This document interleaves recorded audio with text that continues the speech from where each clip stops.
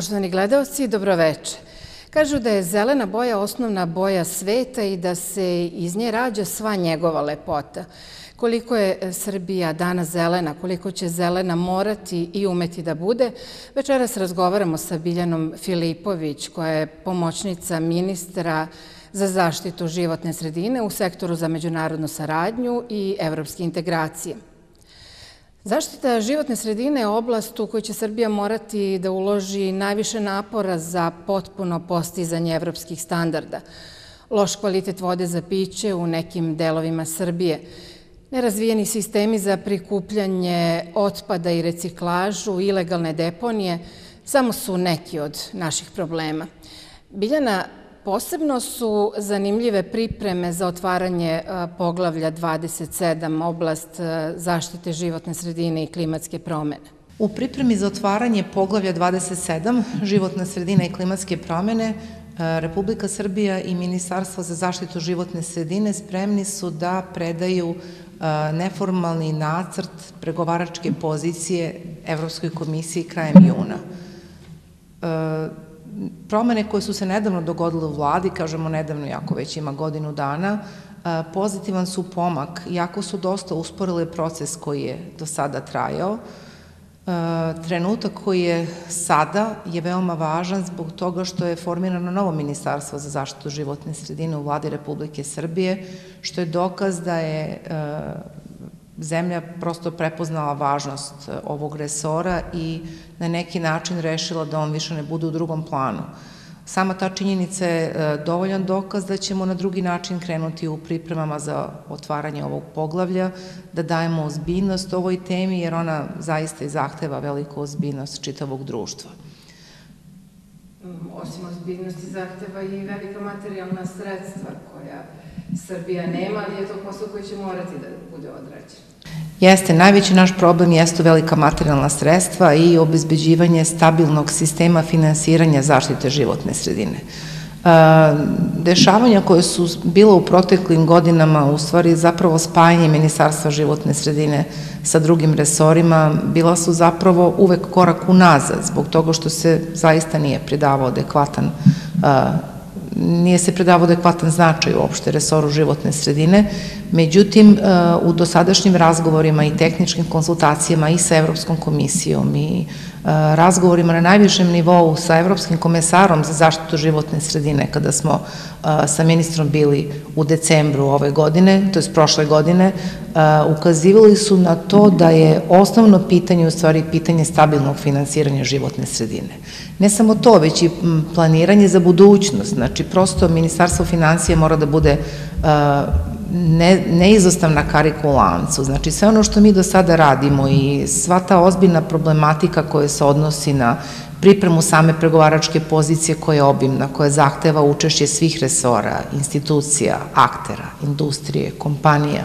Sve to je nedovoljno koliko mi nemamo uh, saradnju adekvatnu sa Ministarstvom financija. Uh, ovo baš ističem adekvatnu saradnju. Mi imamo saradnju, međutim taj nivo saradnje nije dovoljan, Do sada se predstavnici Ministarstva financije nisu gotovo pojavljivali na našim sastancima sektorskih radnih grupa, pregovaračke grupe, tima za pregovore. Prosto na taj način pokazuju da je ipak životna sredina u materijalnom smislu i dalje u drugom planu. Znači, naš zadatak je ovaj, da intenzivno u narodnom periodu radimo da se taj status poboljša. Takođe, Zeleni fond Znate da je ranije postojao fond za zaštitu životne sredine koji je potpuno drugačije ovaj, funkcionisao, njegova funkcija je bila onakva kakva se zapravo odočekuje od, od takve institucije, međutim ukidanjem tog fonda mi još uvek nismo uspostavili da, uh, uspeli da uspostavimo takvu instituciju koja će da, da zameni taj isti fond za zaštitu životne sredine. Ovo govorim u smislu uh, taksi koje se ulažu u životnu sredinu kroz onaj model zagađivač plaća, koje faktički iznose preko 10 milijardi dinara svake godine. Znači, mi unesemo u budžet 10 milijardi, a, a različitim modalitetima nama bude prenato svega 5 milijardi koje možemo da koristimo u oblasti životne sredine, što automatski govori da nešto očigledno nije u redu. Znači, ako imamo taj namenski novac koji se koristi u oblasti zaštite životne sredine, koji bi trebalo da koriste i lokalne samouprave i da to bude na neki način podrška svim onim projektima u oblasti životne sredine, posebno infrastrukturnim projektima koji su za nas najvažniji, onda je to dokaz da mi nešto dobro tu ne radimo. Znači svaka vlada e, prema budžetu vi jednostavno vidite kakav je značaj tog resora prema tome koliko je para opredeljeno za taj budžet. Iz koliko oblasti se sastoji poglavlje 27 životna sredina i klimatske promene? Kada pričamo o poglavlju 27 e, životne sredine i klimatske promene, ono se sastoji iz 10 oblasti. Znači tu imate i horizontalno zakonodavstvo i zaštitu voda, otpad, e, zaštitu vazduha, hemikalije, klimatske promene, industrijsko zagađenje. Znači, oblast životne sredine je veoma kompleksna. Ono na što mi stavljamo fokus uh, i, što je u stvari najvažnije kada pričamo o tim tranzicijonim periodima, to je nešto što, što je naš najveći problem i s druge strane izazov, zato što ti tranzicijoni periodi iz one specifične direktive koje zahtevaju najveće ulaganja, a to su svi infrastrukturni sistemi za direktive koje se odnose na upravljanje otpadom, na upravljanje otpadnim vodama i, da, i na industrijsko zagađenje, one zahtevaju najveće finansijsko ulaganja. Mi, bez podrške Ministarstva financija i bez jasno planiranog budžeta u narednim godinama, ne možemo da znamo niti da preračunamo tranzicione periode zbog toga što ne znamo sa kakvim financijama raspolažemo. Znači, e, bez obzira što je naša pregovaračka pozicija, da kažem, veoma dobro pripremljena, što smo imali učešće svih aktera u procesu, znači, pored nas koji smo deo pregovaračkog e, tima i pregovaračke grupe, znači tu su e, predstavnici svih institucija, vođe sektorskih radnih grupa, znači institucije, nevladin sektor, stalna skupština gradova i opština, znači svi akteri su nas podržali i na neki način su dali svoj doprinos u izradi ove pregovaračke pozicije koja u ovom momentu ima 160 strana. Očekujemo da će se ona i dalje razvijati, da će broj strana biti veći, da će kvalitet dokumenta biti još bolji do tog kraja juna kada smo mi obećali Evropskoj komisiji da ćemo je predati na neformalne konsultacije, međutim bez finansijskih, finansijskih procena, pravih procena, mi nećemo biti u mogućnosti da damo kvalitetan dokument.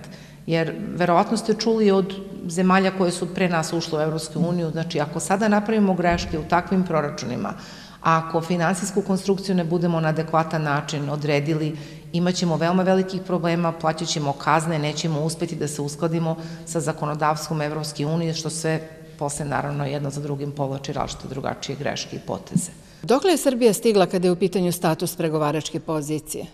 Kada govorimo o statusu pregovaračke pozicije, trenutno smo u fazi e, završetka šeste finalizacije, znači finalizacije šestog nacrta pregovaračke pozicije, I juče smo baš imali priliku da je pred Skupštinskim odborom predstavimo svim poslanicima. E, na neki način se zaista trudimo da ovaj dokument bude potpuno transparentan, da uh, oni delovi koji, koji su dopušteni mogu da budu dati na razmatranje na komentare različitim akterima i mislim da smo do sada dosta dobili na kvalitetu dokumenta.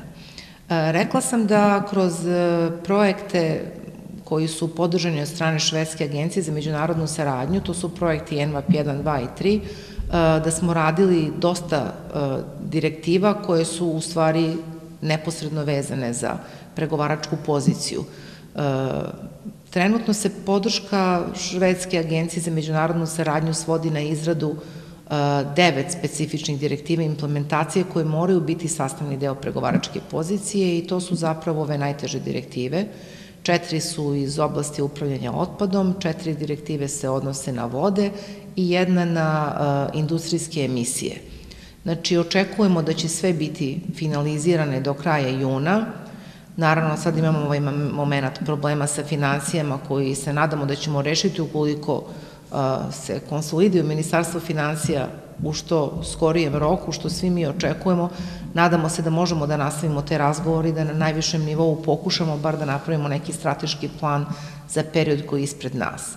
Ehm, bez obzira na mnogo dobre ocene koje smo dobili na nedavnim tehničkim konsultacijama u Briselu sa Evropskom komisijom, kada smo na svim nivoima imali sastanke i bez obzira na to što smo svesni da je dobar deo pregovaračke pozicije urađen na kvalitetan način, dostoje još jedan deo uh, zakonodavstva i uh, zakonskog okvira koji treba uskladiti sa evropskim, to sve znači mora da se desi do kraja 2018. godine, ipak imamo neku dozu zabrinutosti kada je u pitanju uh, završetak specifične direktive za upravljanje industrijskim emisijama.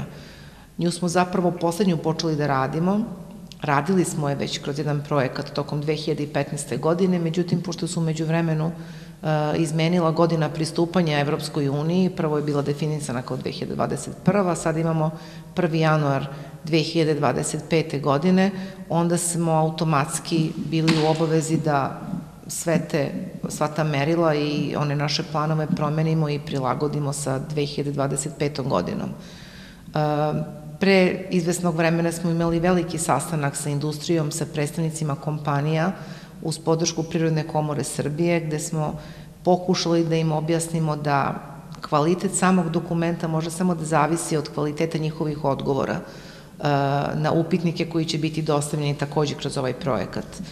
To je zaista veoma obimno i, i zahtevno i s druge strane veoma obvezujuće, pošto industrija i energetski sektor je jedan od najvećih zagađivača. Uh, one industrije i one kompanije koje se ne budu uskladile sa evropskim propisima i koje ne budu ovaj krug uh, učešća u specifičnoj direktivi shvatile na pravi način, znači jednostavno mogu samo da budu zatvorene. Tako da smo pokušali na pravi način da svima njima objasnimo kako izgleda procedura, verovatno oni već i sami znaju, međutim, opet se postavlja pitanje finansiranja životne sredine, sufinansiranja, jer Evropska komisija je spremna da da 50% investicije u oblast životne sredine preko različitih fondova, preko IPA projekata, preko različitih kreditnih linija. Međutim, mi kao zemlja smo u obavezi da pokažemo da jednostavno na koji način ćemo da isfinansiramo tih ostalih 50%. Kada budemo imali te konkretne predloge, onda će značiti e, da smo ozbiljno shvatili posao koji je pred nama. I ne samo finansiranje, Govorili smo o problemima sa administrativnim kapacitetima koji su takođe veoma problematični i veoma ovaj, primetni. E, naime, poslednjih godina je veoma veliki odliv svih kadrova iz državne uprave, posebno iz našeg ministarstva, posebno ljudi koji, se bav, koji su se bavili evropskim integracijama. Moramo da nađemo način da ljude koji žele da se bave ovim poslom i koji prosto moraju da se bave, na neki način motivišemo da oni ovde ostaju kod nas. Na konsultacijama koje smo imali u Briselu razgovarali smo sa predstavnicima Hrvatske koji su već u okviru direktorata Evropske komisije sada ti koji nama daju instrukcije na koji način treba da ovaj, dalje radimo. Dobili smo na neki način instrukciju, u stvari primer njihove dobre prakse koji bi na neki način mogli da pokušamo da prekopiramo, da sledimo, a to je da su oni e, deset godina pre ulaska u Evropsku uniju svake godine školovali po 30 ljudi različitih profesija, uglavnom oni koji se bave spojno-političkim poslovima, zaštitom životne sredine, različitih profesija, e, e, ljudi su školovani na evropskim univerzitetima, minimum godinu dana, dobili su specializacije u ovoj oblasti sa obavezom da kada se vrate, jednostavno za državu rade dalje taj posao. Znači, ako vi računate 10 godina po 30 ljudi, oni su za, eh, kada su ušli u Evropsku uniju, već imali 300 ljudi koji su bili profesionalno i stručno, kadrovski osposobljeni, da mogu da preuzmu sve poslove i da jednostavno eh, nemaju potrebe da, da se plaše bilo kakvih eh, problema koji mogu da nastanu u, u svi tim nekim aktivnostima koje čekaju zemlju od momenta pristupanja, to je otvaranja poglavlja. Mi smo razmatrali takvu mogućnost, međutim, nažalost, naš ustav ne dozvoljava da mi ljude nekim bilo kakvim ugovorom uslovimo da posle nekog školovanja ili usavršavanja budu u obavezi da konkretno rade u tom resoru, što je veliki problem. Međutim, Ministarstvo za evropske integracije nalazi druge načine stručnih obuka ili makar kakvog usavršavanja u ovoj oblasti koje bi nam u ovom momentu mogo da pomogne kako bismo na najkvalitetniji mogući način mogli da ispunimo obaveze koje su ispred nas. Koje su to visokorizične crne tačke, možda pre svega u oblasti industrije, mada problema u Srbiji ima na sve strane? Zapanjuće podatak da se u Srbiji danas prerađuje samo 8% otpadnih voda, da manje od 10% sela u Srbiji ima odgovarajuću kanalizaciju, da tri velika srpska grada nemaju kolektor za preradu otpadnih voda. Situacija u Srbiji zaista nije na zadovoljavajućem nivou kada je u pitanju zaštita životne sredine. Naš ministar to neprekidno ističe i mi sad pokušavamo da se konsolidujemo, kako kažemo, po timovima, kako bi na najbolji način rešili one goruće probleme. Nedavno smo učestvovali na neformalnom ministarskom sastanku u Bugarskoj, tu su bili ministri životne sredine evropskih zemalja i naravno Srbija, Makedonija, Crna Gora i naše zemlje regiona su pozvane da učestvuju na tom sastanku, pošto je to na neki način zvanično obeležen početak presedavanja Bugarske Evropskom unijom. E, naš ministar imao izlaganje, jedini od ministara zemalja koje ne pripadaju Evropskoj uniji, e, na temu problema u životnoj sredini. Pošto je tema bila zagađenje vazduha i najveći prioritet je dat e, tom problemu, zato što je to jednostavno prepoznato kao globalni problem na nivou Evrope, Eh, on je sasvim otvoreno iznao podatke koji su eh, fakat u Srbiji. Eh, znači, problem sa aerozagađenjem je kod nas ogroman.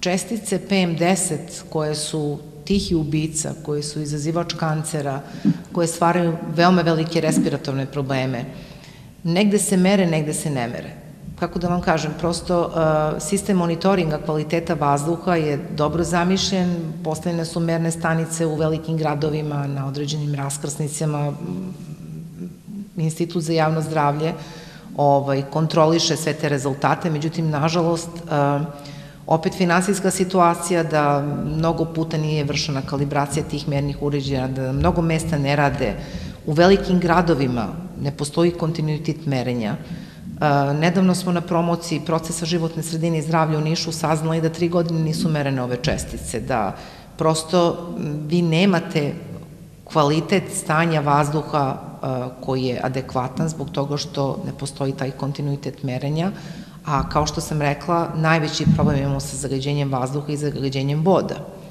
Jednostavno, e, pokušavamo da e, primenimo adekvatne konkretne mere, da ne pričamo više o zakonima i zakonskim regulativama i akcionim planovima kojih imamo na pretek, mnogo manje imamo konkretnih aktivnosti, to je sprovođenje zakona ide sporo, teško ili gotovo nikakvo. E, znači, e, planiramo da zatvaramo kotlarnice koje e, koriste kao ovaj, lož ulje, kao koji koriste neadekvatne izvore ovaj, energetske, Planiramo da vršimo redukciju uvoza automobila iz Evropske unije koji e, su mnogo stari automobili. Ne želimo više da budemo zemlja koja će da bude groblje evropskih automobila i svih onih koji su odbačeni sa evropskog tržišta zbog e, kvaliteta goriva koje je sumnjivo i zbog prosto ove životne sredine koja će da bude još više ugrožena. U budžetu smo za ovu godinu predvideli veliki iznos za zatvaranje pojedinih kotlarnica, Prethodnih godina je Ministarstvo zdravlja takođe preuzelo preduzelo aktivnosti na zatvaranju kotlarnica kliničkog centra, što je takođe jedan veliki zagađivač. Znači, postupno imamo strateške planove na koji način da utičemo na smanjenje aerozagađenja. Ehm, ja sam više puta isticala da smo prošle godine dobili konkretne rezultate istraživanja Svetske zdravstvene organizacije koja se ovaj, dosta bavi Srbijom i ovaj, naravno svim evropskim zemljama koje su ovaj, u tom evropskom procesu životne sredine i zdravlja i ti rezultati su zaista dramatični. E, oni su pokazali da 5400 ljudi godišnje umre više od posledica aerozagađenja. Znači, to je nešto što mi ne krijemo i što ističemo i što smo istakli u Bugarskoj i čestitali su nam na tome zato što e, su videli da na pravi način posmatramo problem zagađenja. E, Prosto je obaveza svake države prema Arhuskoj konvenciji da sve informacije koje se odnose na životnu sredinu, posebno na zdravlje stanovništva, učine dostupnim javnosti. To je i do sada bio slučaj, ali se negde na neki način pojedine informacije se nisu prikrivale, ali su se prećutkivale. Mi sada potpuno drugačiji koncept imamo, znači jednostavno uh, iznosimo probleme onakve kakve zaista jesu, pokušavamo da nađemo rešenje za svaki od problema, Znači, to što sam vam rekla za aerozagađenje e, je fakat i sada sa Kancelarijom Svetske zdravstvene organizacije i Ministarstvom zdravlja pokušavamo da e, završimo akcijoni plan, to je nazvano nacionalni portfolio akcije za dve godine, gde ćemo konkretnim merama i konkretnim finansijskim procenama uspeti da ovo, ovaj nivo aerozagađenja smanjimo, bar 30 procenata.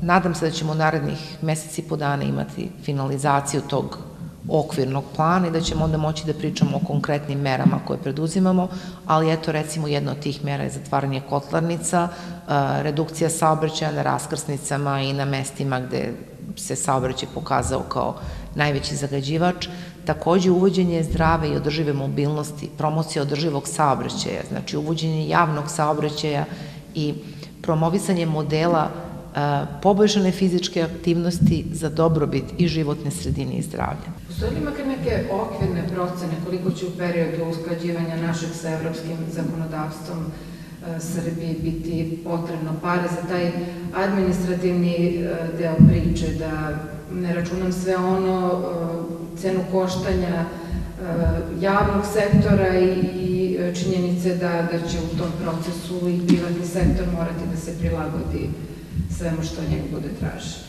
Okvirne procene su da nam je potrebno 15 milijardi evra kako bismo ovaj, uspeli da se uskladimo sa evropskim direktivama i kako bismo našu infrastrukturu u oblasti upravljanja otpadnim vodama i otpadom mogli da dovedemo u nivo da bude u skladu sa evropskim zakonodavstvom.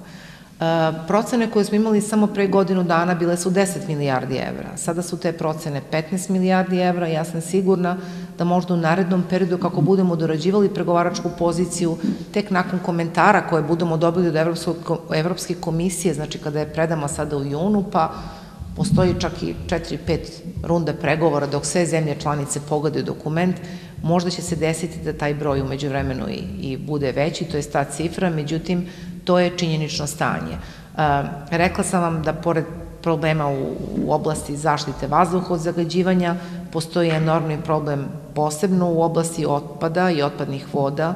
Rekli ste da se svega 8% otpadnih voda prečišćava, što je fakat i što je zaista poražavajuća činjenica i sada na tome uh, intenzivno radimo.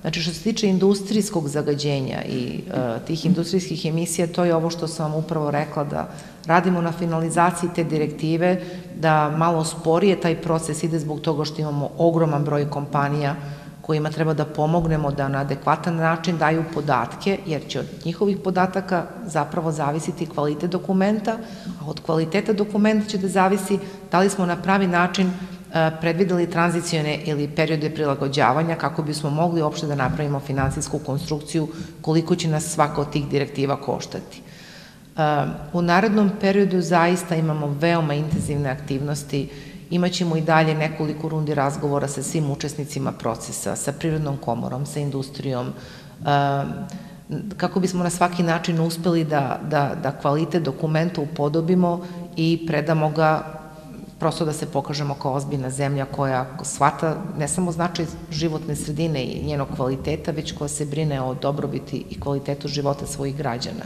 Biljana, koliko ste optimisti na početku jednog velikog i teškog puta. Kažem na početku, jer bez obzira na sve što ste uradili, mislim da ipak može da se kaže da ste i dalje na, na početku tog velikog i teškog puta koji očekuje Srbiju. Mi smo optimisti, ali e, realno smo optimisti. Evo reći vam, osnovni razlog je znači onaj koji sam prvo pomenula. Samo formiranjem novog ministarstva, posebnog ministarstva za zaštitu životne sredine, dala nam je vetar u leđa i prosto podršku sa najvišeg nivoa da smo mi bitan resor. E, dalje, e, u okviru samog ministarstva dugo je trajalo to naše strukturiranje i određivanje strukture samog ministarstva, e, sistematizacija koja je rađena kao kopija briselske sistematizacije i kopija sektora koji će na najadekvatniji način moći da odgovore budućim izazovima kada je u pitanju priprema poglavlja. Dobili smo šest novih pomoćnika ministara za sve resore koji su najneophodniji kada je u pitanju takođe poglavlje 27. Uveli smo sektor strateškog planiranja i projekata koji je važan veoma važan i najvažniji u narednom periodu kada pričamo o programiranju projekata koji će se finansirati iz IPE, koji će e, preko pomoći dela sredstava Evropske unije uspeti da nama olakšaju i omoguće da na pravi način uđemo u one najvažnije infrastrukturne projekte koji su nam u ovom trenutku krucijalni kako bismo na bar minimalan način pokušali da unapredimo stanje kada je u pitanju oblast upravljanja otpadom i otpadnim vodama. E, mislim da e, u jednoj stvari e, malo sporije ovaj, napredujemo, a to je stvar koja se odnosi na administrativne kapacitete. Mi smo takođe dobili na naš zahtev saglasnost od vlade Republike Srbije da primimo 185 novih ljudi u, u novo ministarstvo. To su naše realne potrebe inspekcija Republička ministarstva zaštite životne sredine, posebno i inspekcije opštinske, su uh, jednostavno nešto što moramo maksimalno dojačamo. Tu sigurno treba preko 50% novih ljudi zaposliti kako bi mogo monitoring kvaliteta životne sredine da se vrši permanentno, na pravi način kako bi postojala ta uh, koordinacija između svih naših službi. Takođe, svaki od naših sektora mora da se ojača sa po bar dve ili tri osobe koje će se isključivo baviti evropskim integracijama u okviru svojih resora. Ja sam vam rekla da postoji znači 10 oblasti ovaj, u okviru poglavlja 27 koje se odnose na sve oblasti životne sredine, od klimatskih promjena do hemikalija. Uh, u, u okviru svakog od tih restora mora da postoje dobri, obučeni ljudi koji će da se bave uh, problematikom evropskih integracija i posebno uh, moramo da ojačamo odeljenje za normativne poslove. Odeljenje za evropske integracije koje ja vodim trenutno ima uh, pored mene kao pomoćnika ministra, načelnicu odeljenja i jednog zaposlenog koji radi na privremeno povremenim poslovima. Tako da takav koncept je zaista neodrživ na duže staze, mi sad očekujemo da možemo da nađemo neku budžetsku liniju, da ovaj broj ljudi koje smo zahtevali i koji nam je odobren za prijem, može da bude prepoznat kroz finansijsku konstrukciju budžeta. Mi smo dobili saglasnost da primimo ljude, ali u, u, u budžetu sredstava za plate tih ljudi nemamo, tako da su malo neke stvari još uvijek u koliziji, međutim nadamo se da zaista dobra saradnja sve rešava i pretpostavljam da ćemo imati šansu da se u narednom periodu iskoordiniramo sa kolegama svih drugih ministarstva koji su nam neophodni za sve poslove i, i sve prioritete koje nam prestoji i da ćemo zaista moći da veoma kvalitetno radimo u buduće na onim aktivnostima koje nas očekuju do otvaranja poglavlja, a to neće biti pre kraja 2019. godine. Sredinom ovog meseca Biljana Filipović bila je u Briselu gde su Srbija i Ministarstvo za zaštitu životne sredine predali neformalni nacrt pregovaračke pozicije Evropskoj komisiji. Bio je to sastanak pod odbora za transport, energetiku, životnu sredinu, klimatske promene i regionalni razvoj. Razmatrana su dodatna pitanja postavljena od strane Evropske komisije o svakoj od oblasti u okviru poglavlja 27. Predstavnici pregovaračke grupe 27 su veoma zadovoljni napretkom Srbije u aktivnostima, posebno kvalitetom nacrta pregovaračke pozicije, zbog čega su istakli da Srbija može da očekuje otvaranje poglavlja 27 početkom 2019. godine, iako je plan bio tek krajem naredne godine. Da bi Srbija dostigla 15 milijardi investicija u životnu sredinu do 2041. godine, moraće sama da investira polovinu tih sredstava, dok ostatak može da bude obezbeđen iz fondova Evropske unije. Za taj posao potrebni su dugoročni i stabilan finansijski plan i funkcionalan zeleni fond koji će to postati najkasnije 2019. godine. Biljana, želim svu sreću vama, vašem pregovaračkom timu, Ministarstvu zaštite životne sredine i Srbiji. Hvala najlepše. Poštovni gledalci, odjavljujući ovu emisiju, podsjetit ću vas na mudru izreku po kojoj u prirodi nema opraštanja i samo u prirodi čovek se može naučiti mudrosti. Mislite o tome. Još jednom hvala na pažnji i prijatno večer.